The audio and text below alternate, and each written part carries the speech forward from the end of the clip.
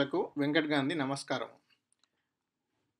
ఏడవ తారీఖు జరిగే ఎన్నికల కోసము కాంగ్రెస్ పార్టీ వాళ్ళ ప్రజా కూటమి తరపు నుంచి ఎన్నికల మేనిఫెస్టో మన ముందు పెట్టిర్రు.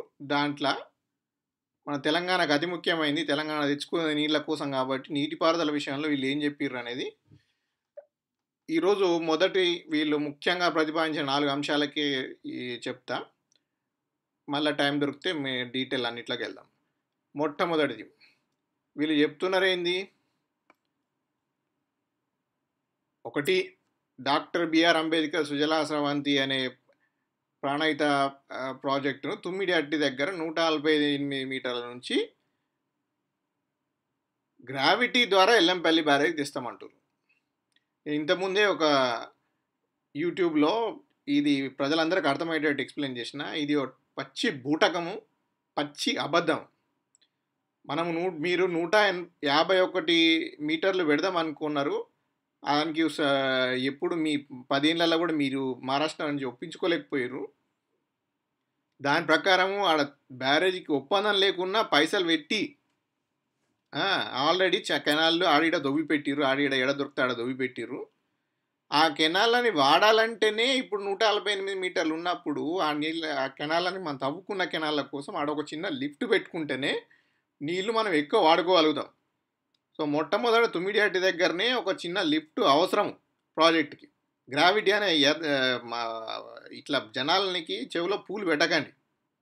రెండోది ఆడికి వెళ్ళి ఆ కెనాల్ నుంచి మీరు తీసుకొచ్చినా కానీ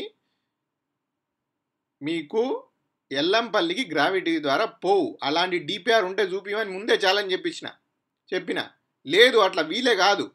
ఖచ్చితంగా మళ్ళీ ఎత్తిపోస్తేనే అది బెల్లంపల్లి మంచిర్యాల ఏరియాలో ఎత్తిపోస్తేనే అది మా ఎల్లంపల్లి బ్యారేజ్లకు నీళ్ళు రావచ్చే దారి దొరుకుతుంది. అసలు ఆ మీరు చేసిన డిపిఆర్ ఆ దారే దిక్కులేదు. ఏదో అడ్డుదొడ్డు లెక్కలు పెట్టేసి ఓ డిపిఆర్ పెట్టిర్రు. అందుకే దానికి ఏనాడు సెంట్రల్ గవర్నమెంట్ నుంచి అప్రూవల్ రాలే. ఈరోజు అట్లాంటి అడ్డుదొడ్డు లెక్కలు లేవు. అన్నీ ఖచ్చితంగా చేసి పెట్టిరు కాబట్టి లెక్క అంతా ప్రకారంగా ఉంది. ఇట్లా మొట్టమొదలు మీరు చెప్తున్నదే పచ్చి అబద్ధంతో మొదలుపెట్టారు రెండవది గోదావరి నుండి ఎల్ఎండికి షేక్ అండ్ బ్యారెల్ చెప్తారు చేస్తామని చెప్తున్నారు. ఇన్నేళ్ళు రెండేళ్ళ నుంచి మన సీఎం కేసీఆర్ గారు మీకు అందరికీ అర్థమయ్యేటట్టు చెప్దామని చెప్ మీకు మీరు బారిపోయినా ప్రజలందరికీ అర్థమైంది. అసెంబ్లీలో తను రోజంతా పవర్ పాయింట్ ప్రజెంటేషన్ ఇచ్చి చూపించిండు.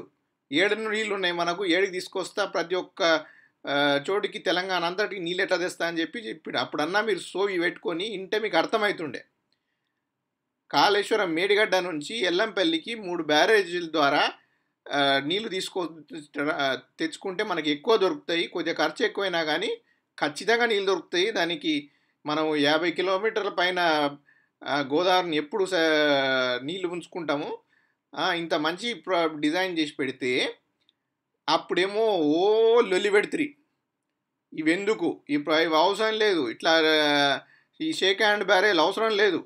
అంత పవర్ ఖర్చులు అని చెప్పారు మళ్ళీ ఎందుకు ఇప్పుడు షేక్ హ్యాండ్ బ్యారెల్ కడతామని చెప్తుర్రు? ఇన్ని రోజులేమో రోజులంద జనాలందరినీ పిచ్చోళ్ళలాగా చేసి చెప్పుకుంటా. ఈడ ప్రజెంటేషన్లు ఆడ ప్రజెంటేషన్లు. ఇప్పుడు మళ్ళీ తిక్క తిక్క తిరిగి మీకే షేక్ అండ్ బ్యారేజ్ చెప్తా కడతామని చెప్తుర్రా? ఇది ప్రజలకు అర్థం కావాలి మీరు మాట్లాడుతున్న ఈ రెండో అంశం ఎంత ఎంత తెలివి తక్కువ అంశం అనేది చూపిస్తా. ఈరోజు మనకు కాళేశ్వరం ప్రాజెక్ట్ కింద ఇక్కడో బ్యారేజ్ ఇక్కడో బ్యారేజ్ ఇక్కడో బ్యారేజ్ వేసుకొని ఎల్లంపల్లిలకు ఈ మూడు కొత్త బ్యారేజీల ద్వారా ఈడ వంద మీటర్ల లోపల నుంచి నీళ్ళు ఎత్తుకొని నూట నలభై మీటర్ల ఎల్లంపల్లికి మూడు మూడు అంచెల్లో తీసుకపోతున్నాం.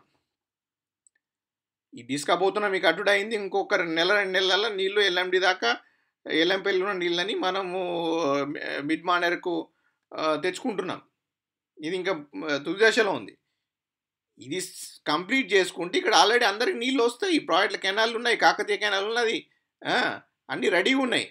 నీళ్ళు తెచ్చుడే ఇది ఇప్పుడు ఆపేసి మీరు ఏం చెప్తుర్రు? జనాలందరూ చెవుల పువ్వు ఇగో గిట్ల నీళ్ళు తీసుకొస్తారంట. గీ గీ మానేరు ద్వారా ఈ నుంచి ఎల్ఎండిలకి ఇదంతా ఎన్ని బ్యారెలు కట్టాలి? గీడ కట్ ఈ వంద నుంచి నూట నలభైకే మూడు బ్యారేలకే గిన్ని కథలాయే ఇంత ఖర్చాయే. ఈడ షేక్ అండ్ బ్యాగులు కట్టుకుంటా కూర్చుంటే మీకు ఏమన్నా జనాలకు అర్థం చెవులో పూలు ఉన్నాయనుకుంటురా ఇది ఏమనుకుంటారు ఈ మానేరు వాగు దీంట్లో ఎప్పుడు నీళ్ళు రావు. అంటే ఎప్పుడు నీళ్ళు తీసుకొచ్చి పోయాలి. ఈడనేమో మనకు ఆల్రెడీ నీళ్ళు గోదావరిలో వస్తుంటాయి. కడెం నుంచి ఫుల్లో వస్తూనే ఉంటాయి. ప్రతి సంవత్సరం ఈడ లేని చోట బ్యారెల్ కట్టుకుంటా కూర్చుంటారు ఈ బ్యారెల్ ఎన్ని బ్యారెల్ కావాలో ఒక ఇరవై ముప్పై బ్యారెల్ కావాలి.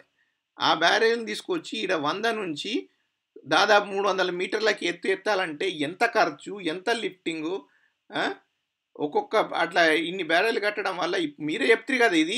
వంద నుంచి నూట నలభైకి నలభై మీటర్లే కాదు ఎనభై మీటర్లు ఎత్తు ఎత్తాల్సి వస్తుంది మూడు సార్లు చేస్తున్నాం కాబట్టి. ఇది వంద నుంచి మూడు వందలకు తీసుకురావాలంటే ఒక ఇరవై ముప్పై సార్లు నువ్వు లిఫ్ట్ కొట్టుకుంటా కూర్చుంటే అది రెండు వందలు కాదు మీరు ఎత్తాల్సింది. ఓ మూడు నాలుగు వందల మీటర్లు ఎత్తు లిఫ్ట్ ఎత్తాలి. ఎంత పవర్ ఖర్చు అవుతుంది అర్థమవుతుందా మీకు? ఎవడు చెప్పిండి ఈ ఐడియాలు మీకు? అసలు అవసరం ఏమొచ్చింది ఇదంతా? ఈ నీళ్ళు వచ్చినాక ఈ మొత్తం అంత చక్కగా జ గ్రావిటీ కింద కెనాల కింద ఈ జ ఈ ఏరియా అంతా పారుతూ ఉంటే మీ ఐ- ఈ కొత్త ఐడియా ఏంది? కేవలం జనాలకు చెవిలో పువ్వు పెట్టడానికే? సరే ఇప్పటికైనా మీకు తిక్క తిరిగింది. షేక్ అండ్ బ్యారేజ్ అనేవి మంచి కోసమే దాంట్లో తప్పు లేదు. దా దానివల్ల మనం నదీ ప్రవాహంలోనే నీళ్ళు ఆపుకుంటున్నాము అనేది సోయి వచ్చింది ఇప్పటికైనా. సంతోషం. మూడోది. మళ్ళా ఏం చెప్తాండ్రు? కాంగ్రెస్ హయాంలో ప్రారంభించిన ప్రాజెక్టులనే అంటే మీ దృష్టిలో ఏంది? ఇదేమన్నా రాష్ట్రం అంటే కాంగ్రెస్